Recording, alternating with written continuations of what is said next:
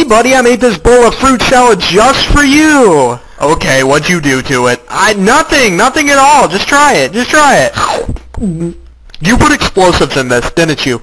Yep.